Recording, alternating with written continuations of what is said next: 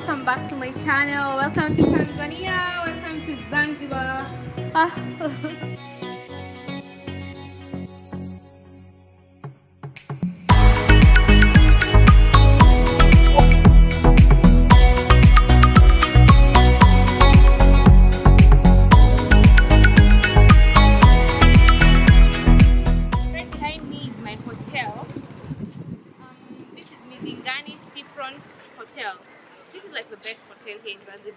even messing with you guys. World class services, perfect location. You know, the rooms are something else. And in the morning when you're having breakfast, hey, you guys, it's like heaven on earth. You know, it's so peaceful, it's beautiful, it's so cultural. The design, oh my gosh, just something else, you guys. So whenever you come to Zanzibar and you're thinking of somewhere to sleep, you know, spend a little, um, spend some of your days. It's a perfect place. I'm gonna leave the link in the description box. Make sure you check it out. So from up here, you get the view of the pool. It's big, and I can't wait to go down and swim. I'm not a good swimmer, but I mean, you can't come to Zanzibar and not swim, either the swimming pool or the ocean. So this is so cool. They have these chairs outside here. If you just wanna come here, you know, relax. It's so soothing. And straight ahead, you have a rooftop. So if you wanna, you know, have drinks with friends, it's perfect. You guys, you don't even understand how beautiful and unique this place is. You don't get it everywhere, you know. So having said that, let, let's go in. Let me show you the room. So this room is like perfect for couples, you know. When you have your bay, as in this is perfect. You don't even understand. But this is your been sleeping alone on this big bed. Um, the thing about this place is that it has a huge Arabic influence. Um, the chairs, you know, the mirrors, you guys, everything about this place is so unique. This thing is actually where you store your clothes. Um, what do you call it? Wardrobe. Something like no, not Arabic name. nah. Okay, In, it's called in Arabic. Swahili, I'll call it maybe like um, not kabati. It's not not kabati. It has a name. And the wood is so unique, you know. It's like I feel like I'm living in the Bible. I feel like these are the houses that the Bible used to describe. I don't really understand. And then the art on the walls, very beautiful and simple. Guys, uh, look at the bed. This is so unique. You don't get this every day. Um, look at this. The Arabic influence is just major, and it's so beautiful. The lights, oh, guys, I don't even look at the lights they're very different you know everything about zanzibar is different. You feel like we're in a whole different country. The walls look at the walls the carvings around. It's just so beautiful and so unique. It's so arabic you know. It's like a breath of fresh air something different that you're not used to every day. So guys let's go to the bathroom. The bathroom is huge these tiles, I've not seen them anywhere before, but I just, you know, they, they, they bring out the look of this place. Look at the lights, man. That's beautiful. I don't think I'll get used to this. You know, it's something you're not used to. It's so beautiful, you guys. Right, so this is the room I've been sleeping in, but there's still so much going on inside here, like the art. Yeah, like you see, look at this beautiful art. I feel like this could be very expensive.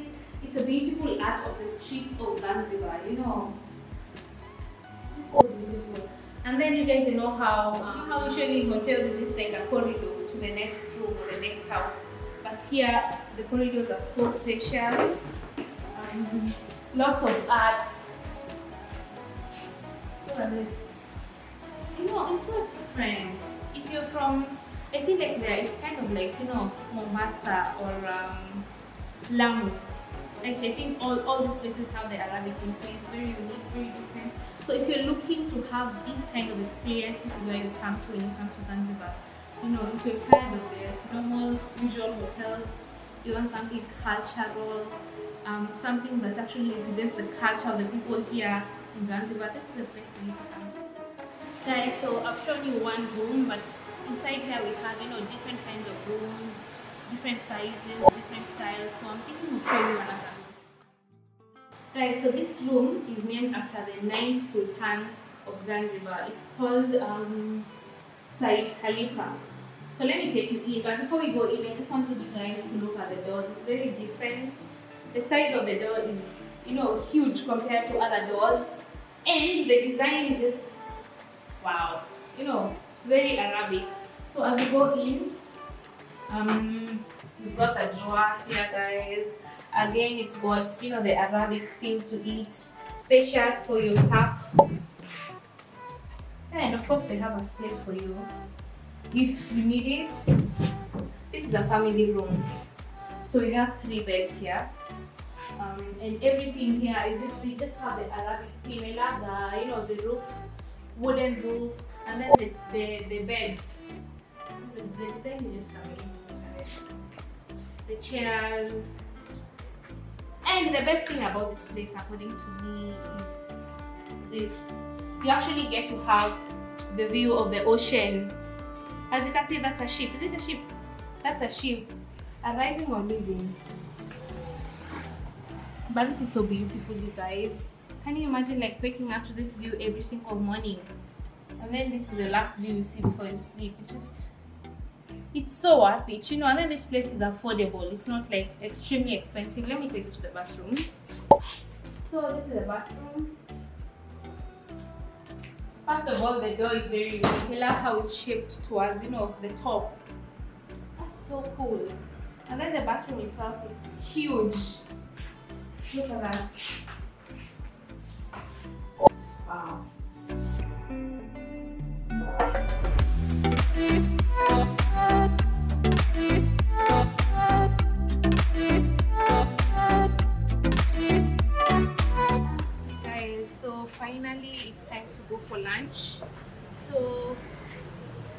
Going out to experience some Swahili cuisine. But guys, I've got to tell you, the view from this point is just breathtaking, to say the least. It feels like, you know, I'm in a movie. Oh my god, you guys. Look! What?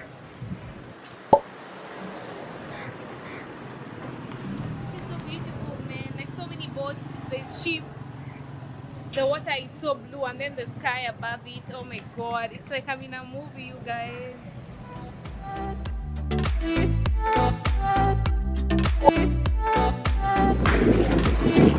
Wow. Oh my gosh. I think the best thing about um, where I'm staying is that it's a seafront hotel, you know. So you get the best view of the ocean. And I'm just speechless. This place has just made me speechless. Guys, so as you can see, um, this is my outfit of the day. What do you think about it? Leave a comment. Let me know. You know what they say? when you're in Rome, you do as the Romans do. So I'm dressed in a dira. had to make sure I carried mine because I have to represent, you know. Um, yeah, I'm feeling so good and it's so comfortable and so simple, you guys. Anyway, we could stay here forever because the view is just something else. However, I'm hungry, guys. We've got to go for lunch. And I've heard about this place. Everyone is telling me when you come to Zanzibar, you have to visit this place. It's called uh, Lukman. Lukman Restaurant. So I can't wait to go and try some Zanzibarian cuisine, you know, some Swahili cuisine. So let's go.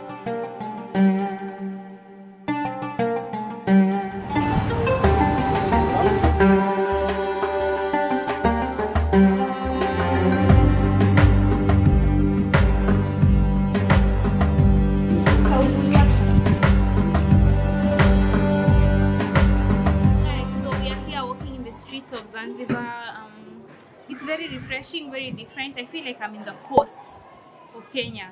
It reminds me a lot of Lamu. If you've been to Lamu, it's something very similar. The streets are very narrow, and um, you know the buildings are you know old. You feel like you're walking, you know, in, in the Bible or something. You know those days of Moses. It's weird to explain. And then we just come across something very crazy. I've been told that there are two flags up there, one for Zanzibar and one for Tanzania.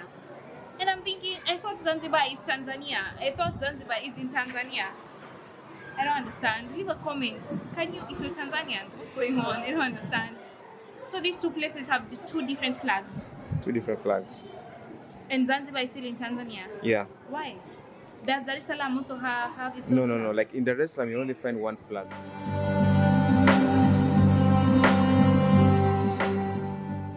Guys, so I am in Lukman. This is like like one of the most popular restaurants here in um, Zanzibar, and it's Swahili cuisine. If you want to get the best Swahili cuisine, I've been told this is where you come. So let's go.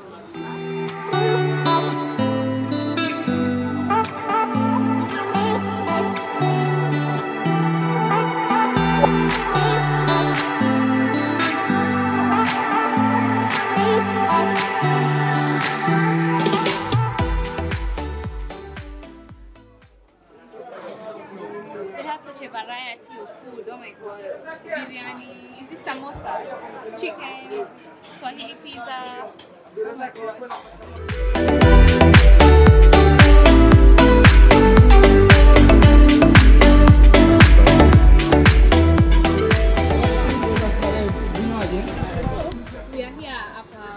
Call it the rooftop. I'm on the first floor. Rooftop ya design. Yeah, on the rooftop, and um, I'm having biryani for the first time, and I'm having ukwaju. This is my favorite juice.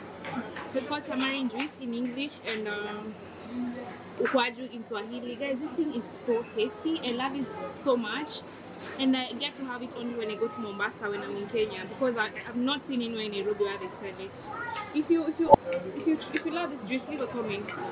Let me know. This place is noisy, you guys. And I think it's just, you know, proof of how busy this place is. There are so many people. Even getting this table, you know, was just by luck because this place was so filled up. I'm glad to be here. A popular dish here in Tanzania. Yeah. Um, yes, and this is Mohammed. He's been so nice to me.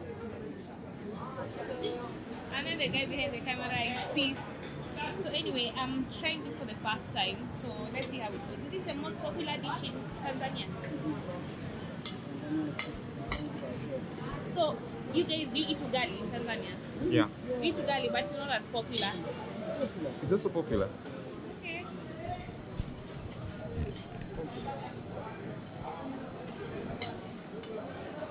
Mix it with the sauce. Take the sauce, yeah. Just take a little bit, then put it on the side, yeah. Then have a taste.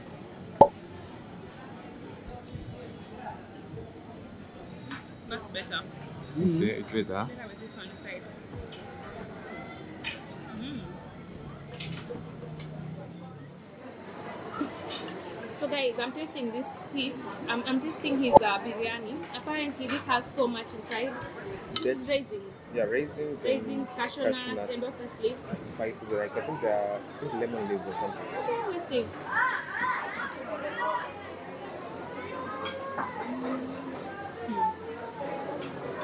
Like Okay, the, one. So the flavors are more, are more mixed.